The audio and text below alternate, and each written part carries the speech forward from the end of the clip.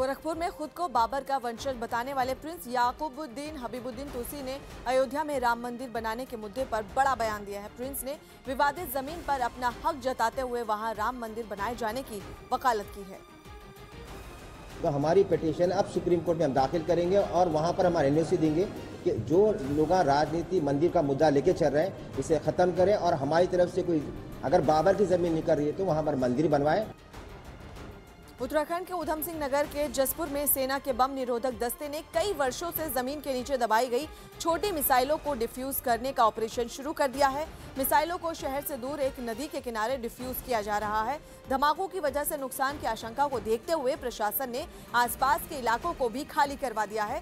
सेना के इस ऑपरेशन को 555 पतरामपुर नाम दिया गया है। बताया गया कि 2004 में वहाँ की एक स्टील फैक्ट्री में स्क्रैप के तौर पर लाई गई एक मिसाइल फटने से एक मजदूर की मौत हो गई थी, जिसके बाद पुलिस ने फैक्ट्री से बरामद 555 मिसाइलों को पतरामपुर चौकी के पीछे ज़मीन में दबाकर रख दिया था। मिसाइलों को पतरामपुर के क्षेत्र से, चौकी के पास के क्षेत्र से निकालकर निर्जन स्थान पर ले जाया जा रहा है। उम्मीद के पहले ही जो सारी मिसाइल निकलनी थी, लगभग सारी मिसाइल वहाँ से निकल गई है। गुजरात में उत्तर भारतीयों के खिलाफ हिंसा पर सियासत थमने का नाम नहीं ले रही है अब इस मामले में अल्पेश ठाकुर की करीबी माने जाने वाली कांग्रेस एमएलए गिनीबेन ठाकुर का एक विवादित बयान सामने आया है जिसका वीडियो दिल्ली बीजेपी के नेता तेजिंदर बग्गा ने अपने ट्विटर अकाउंट पर शेयर किया जिसमें वो साबरकांठा में बच्ची के रेप की घटना के बाद भड़काऊ बयान देती नजर आई પણ આવી ઘટના જેટણે બની એના એ ટાઈમે પાંચસો સો પચાસ સો દોઢસો જણા ભેગા થઈને પેટ્રોલથી પાંચસો હજાર જણા ભેગા થઈને હળગાઈ ના કરે તો કાંઈ ના जिसके बाद कांग्रेस गेनीबेन ठाकुर का बचाव करती थी उसके साथ उन्होंने ये भी जोड़ा था कि अल्पेश को बदनाम करने की साजिश में जो भाजपा के लोग हैं अगर लोगों के हाथ में लग गए तो उनको भी जला देंगे लोग क्योंकि ऐसी साजिश नहीं होनी चाहिए। हालाँकि इसके कुछ ही देर बाद कांग्रेस अपने बयान से पलट भी गई और साफ़ कर दिया कि किसी को भी कानून हाथ में लेने का अधिकार नहीं।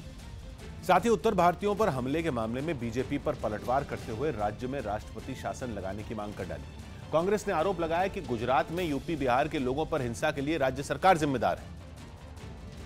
और मांग की कि इसीलिए विजय रूपाणी को हटाकर गुजरात में प्रेसिडेंट्स रूल लगाना ज़रूरी है। कांग्रेस ने यूपी बिहार के लोगों के खिलाफ हिंसा के मामले में बीजेपी के आरोपों का जवाब देने के लिए प्रेस कॉन्फ्रेंस की और स्टेट गवर्नमेंट को टारगेट किया। खुद चीफ मिनिस्टर विजय रूपाणी इसमें इन्वॉल्व है इस साजिश में। और विजय रूपाणी का बैक सीट ड्राइविंग तो अमित शाह ही करते ये तो रबर स्टैंप है। जिसके बाद पाटीदार नेता हार्दिक पटेल भी कांग्रेस की हाँ में हाँ मिलाने लगे और ट्विटर पर लिखा कि देश में और गुजरात में बीजेपी की सरकार है। गुजरात में सारे 26 एमपी और 99 एमएलए बीजेपी के हैं। पुलिस, आईबी और सभी प्रशासनिक विभाग बीजेपी के कंट्रोल में है। फिर भी बीजेपी को जब देखो तब कांग्रेस के नाम की कब्ज होती है। गुजरात में जो हुआ है, उसके जिम्मेदार सिर्फ़ और सिर्फ़ सीएम विजय रूपाणी है। कांग्रेस ने प्रेस कॉन्फ्रेंस में स्टेट गवर्नमेंट पर हमला बोलने के साथ ही अल्पेश ठाकुर का भी बचाव किया।